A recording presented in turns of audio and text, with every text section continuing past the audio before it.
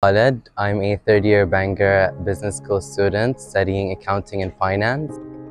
I knew I wanted to go to business school and I was looking for a prestigious, reputable, collaborative place. And I think Bangor Business School ticks all the boxes for me.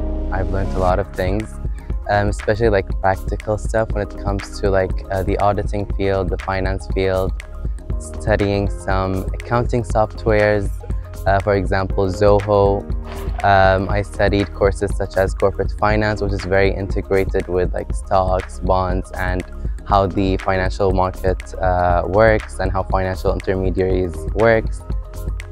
I've been loving the support that I've been getting from my lectures, from my tutors, uh, from my professors.